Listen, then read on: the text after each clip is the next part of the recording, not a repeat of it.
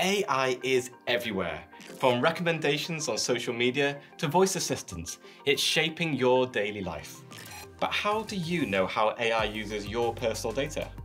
Every time you scroll through your social media feed, stream a movie, or ask your phone for the weather, your data is being collected and analysed with AI. What you like, what you watch, and even what you search for are being used to make recommendations tailored just for you. But you have to decide what uses of your data are you okay with.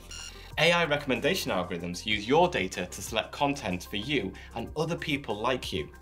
Many AI systems are being trained on data scraped from across the internet.